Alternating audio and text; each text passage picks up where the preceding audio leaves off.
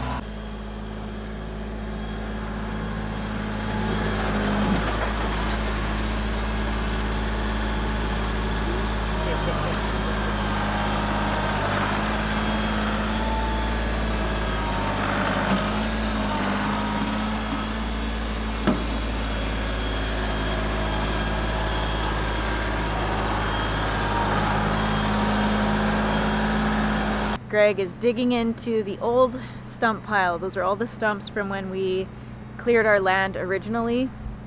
They all just kind of got piled over there and we weren't really gonna touch it because we figured it was just wood stumps and not very good fill, but turns out it's really nice topsoil.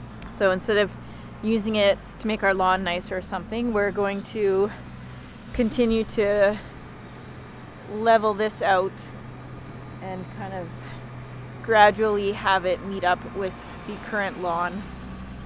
Ideally, I want to level it all out, but I don't know if we're going to have enough fill. So stay tuned and we'll see how that goes.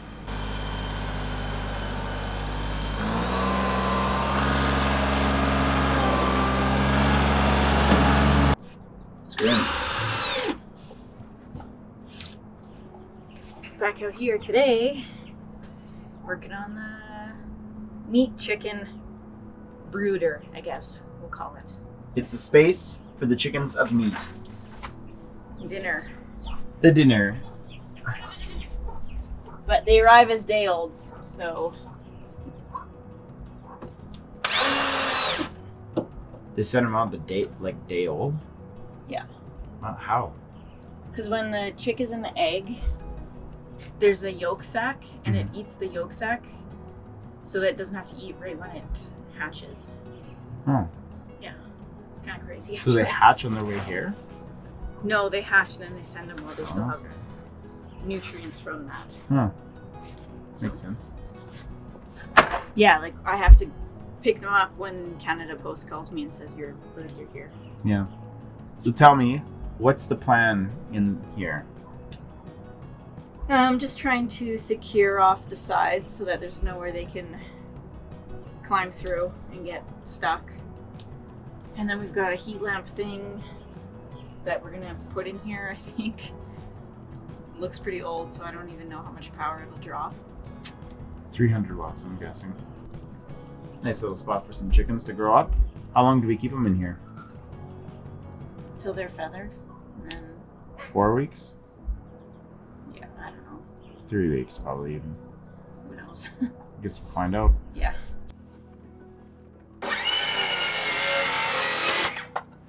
There.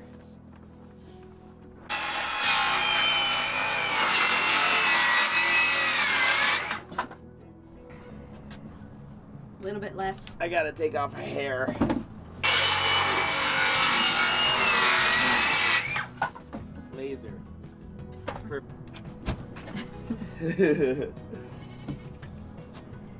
It's not gonna work because it's gonna get wider.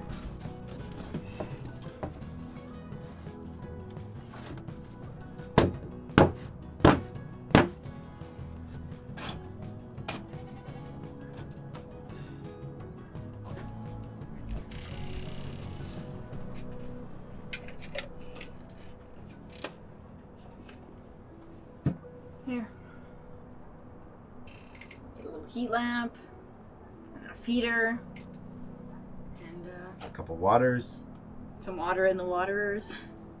some feed in the feeders, some chickens in the chicken spot. Yeah. Yes. It- This is not the ideal setup. It's what we've got, and it's only for very small chickens for a little while. Yeah. It'll be fine. Yeah. But the, it, when we get them out of there, it'll be good to get them out of there. Yeah. We might be getting them out sooner, but.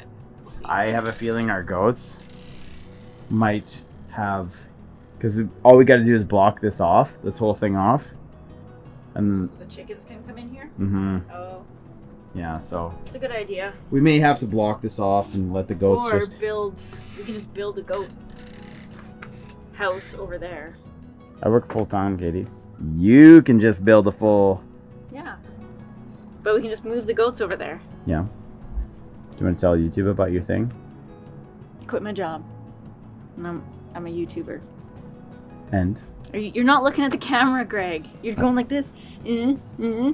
it's pointing right at you. I can Yeah, see. but you're going like this. no, I'm not. Yeah, you wiggle all the time. Why'd you quit your job?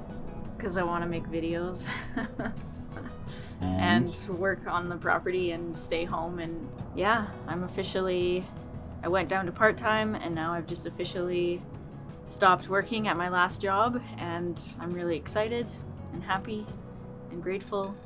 And yeah, so make sure you like and comment and subscribe so our videos get lots of Hit views. the bell, like, subscribe, because we need it. I need to get paid. I'm I'm proud of you. it's pretty exciting.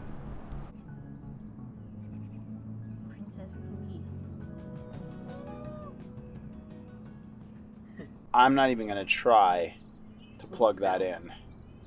This is a fire right here. You want to start a fire? Just plug this in.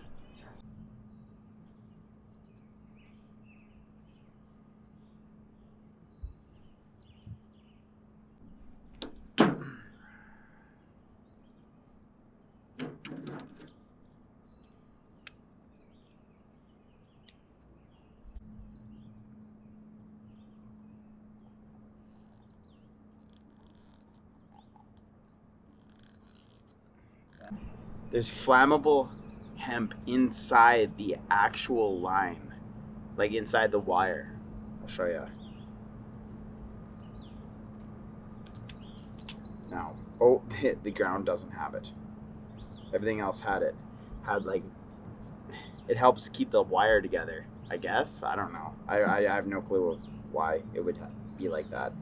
All right, we've uh, got this ancient chick brooder heat thing, and uh, It's too big. it's too big for Way our. big. It's like four, five, six inches. It's way too big for our space. So. Plus, it probably runs on thousand watts on low, mhm.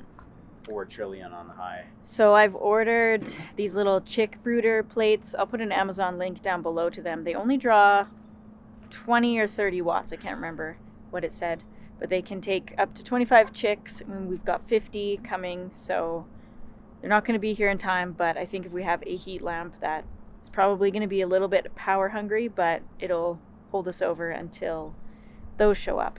So yeah we have a very awkward space for them, so it's hard to uh, get everything to fit.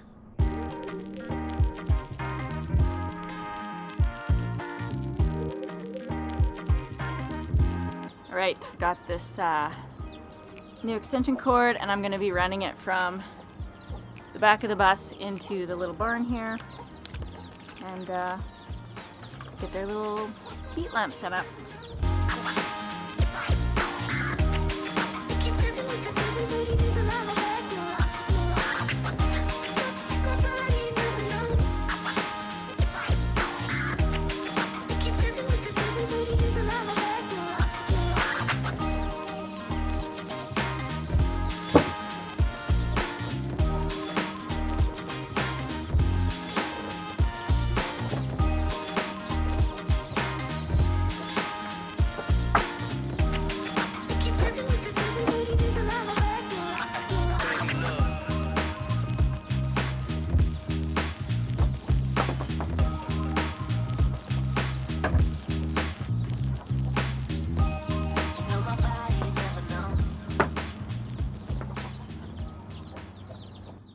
Some uh, heat lamp bulbs, and then I just grabbed these from the house, the lights we've been using.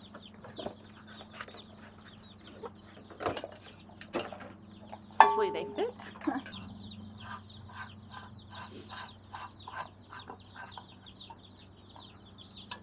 was reading online that, that the red lights are better for chicks, so those are the ones that I got.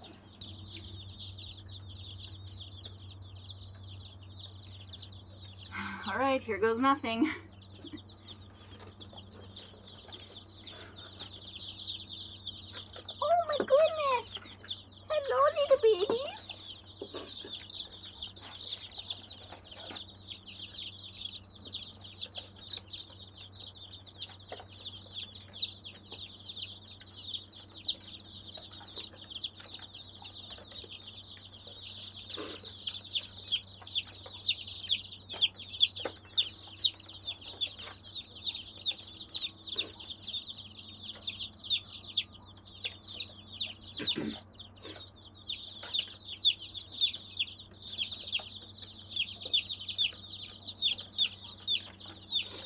I'm just making sure they're uh, they don't have little poopy bums.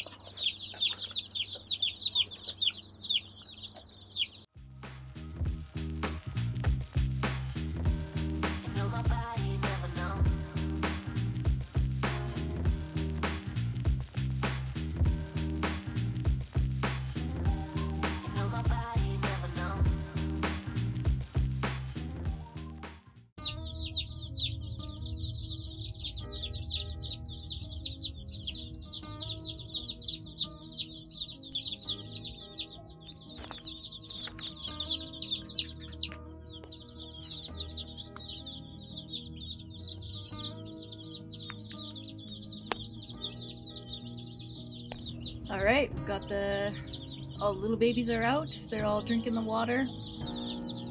I read somewhere that you need to show one how to get where the water is by just putting their beak in, and they will show the others. And so that's what I did. A couple of them didn't really take, but one was kind of standing there, so I put him put his beak in and started drinking. Got a couple heat lamps. I'm not really sure where they should go. Pooey. Uh, Pooey's a little bit interested. Alright, it's been a couple hours and I wanted to come in and check on the little chicks, uh, see how they're doing. I kind of changed things around in there, so uh, yeah, I just want to check on them and see how everyone's settling in, make sure everyone's okay.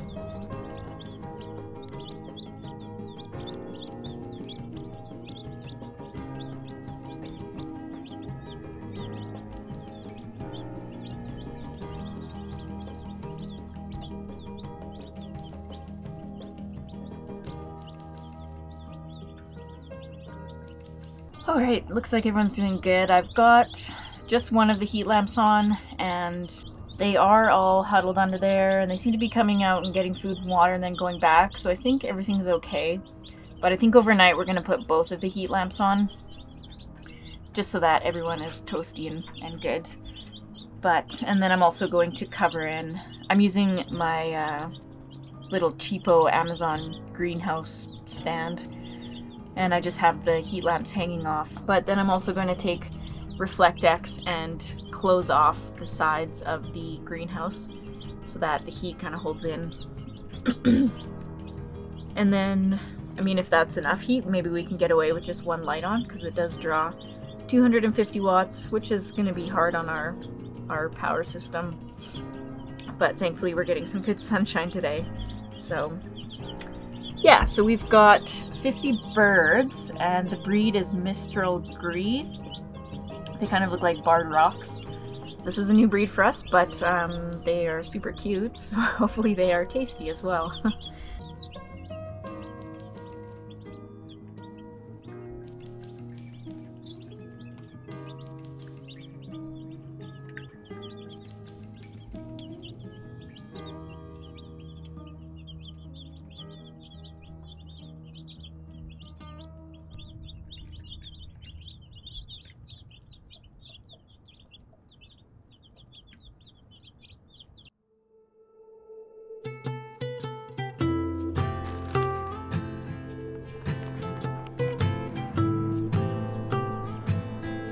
Keeping with the theme of the video and uh, sustainable food, I guess you could say.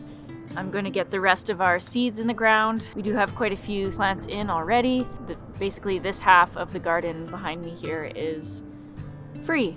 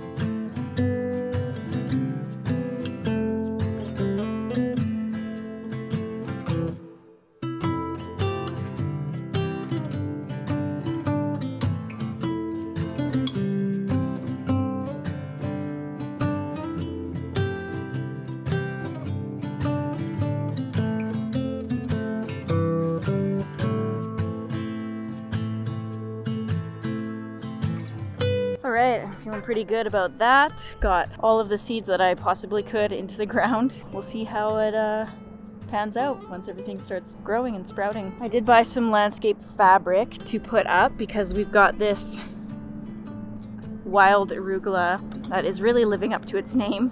It is insanely wild and it's just taking over everything. I'm gonna put landscape fabric in between plants, especially around the arugula right there.